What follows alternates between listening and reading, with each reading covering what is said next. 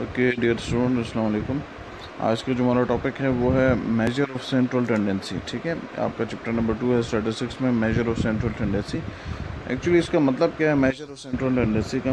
Late suppose ये आपके पास एक डेटा सेट है, ठीक है? यह आपका डिफरेंट डेटा इसमें जो है, वो मौजूद है, ठीक है? अब बेसिकली इस चैप्टर में आपने करना क्या है? इसमें आप लोगों ने जो है ना, जो उसका सेंटर है जो डेटा का सेंटर पॉइंट है मिड पॉइंट है, उसको आपने क्या करना है? कैलकुलेट करना है, ठीक है ना? इसमें हमने क्या करना है? जो सेंटर होगा, उसको हमने क्या करना है? कैलकुलेट करना है। अब इसमें हमारे पास कौन कौन से एवरेजेज हैं? सबसे पहले इसमें जो हमारे पास एवरेज आती है अर्थमेटिक मीन ठीक है? जिसको सिंपली हम लोग मीन भी कहते हैं। सेकंड हमारे पास है जियोमेट्रिक मीन ठीक है?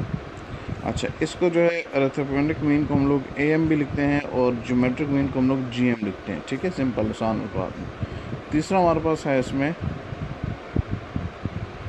हार्मोनिक मीन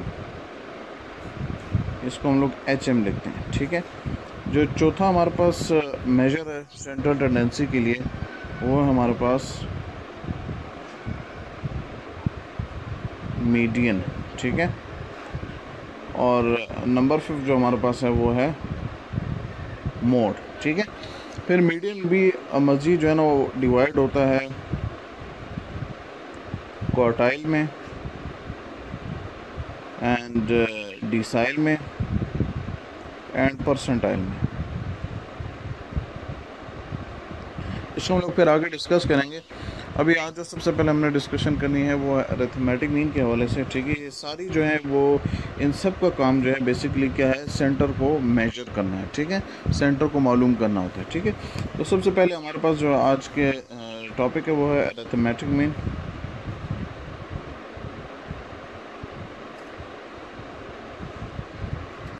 जो सबसे पहले हमारे पास है अरेथमेटिक मीन जिसको हम लोग मीन भी कहते हैं। और सिंपली हम लोग इसको एवरेज भी बोलते हैं। ठीक है? तो मीन को हम लोग कैसे कैलकुलेट करते हैं? अरेथमेटिक मीन जिसको हम लोग बोलते हैं। तो इसका पहले मैं इसकी डेफिनेशन आपको बता देता हूँ।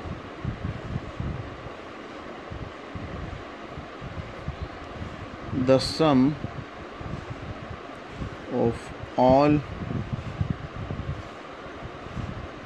observations in the data divided by its number.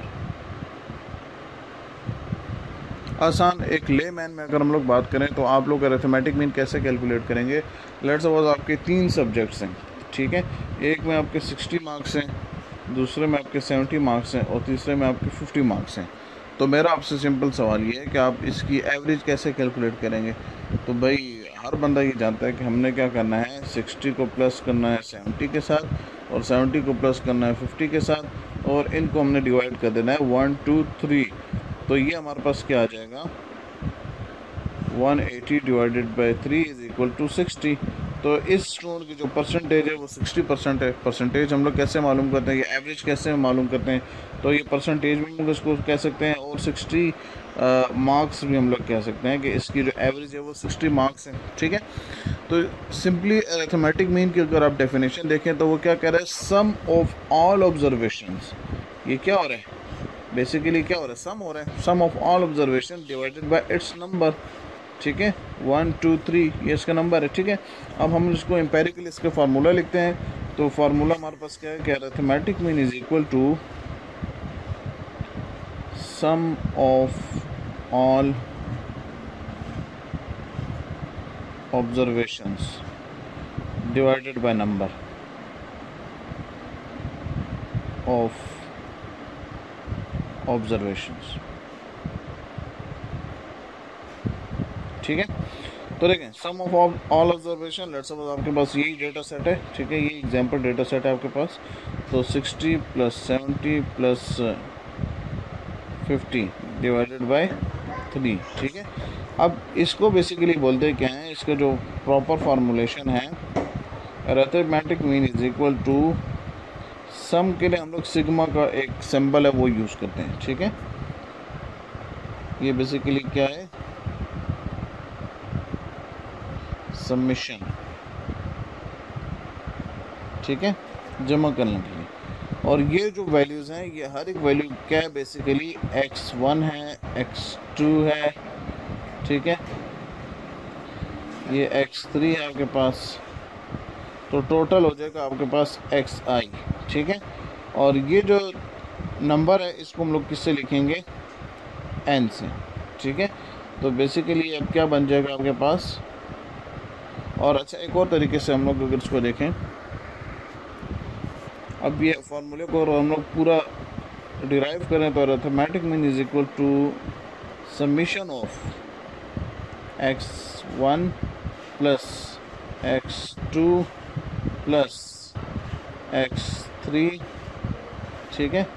अब टू एक्स एन इससे क्या बनता है? इससे ये जो है, ये इसकी फॉर्मुलेशन इस तरीके से डिराइव हो रही है, ठीक है? और ये एन अपनी जगह उसी तरीके से रहेगा।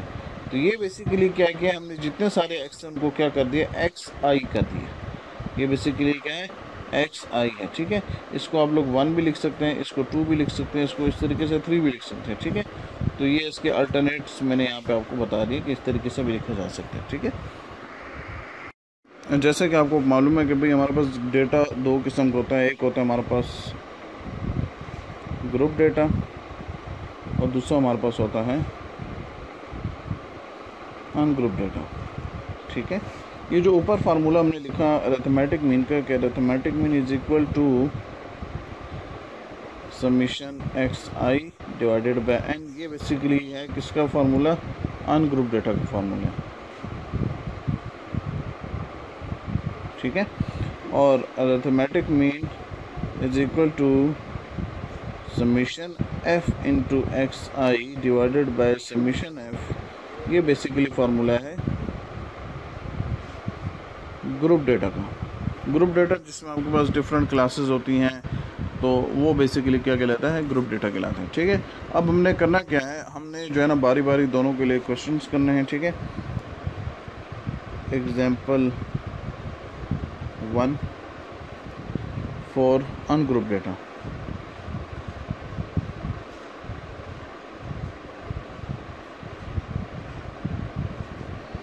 ungroup data के लिए हम लोग क्या करेंगे कि अरेथमेटिक मीन सॉरी पहले हम लोग डेटा लिख लेते हैं। डेटा लेट सपोज़ हमारे पास है, एक, जो है वो स्टूडेंट है। उसके सिर्फ़ सिक्स सब्जेक्ट में मार्क्स हैं।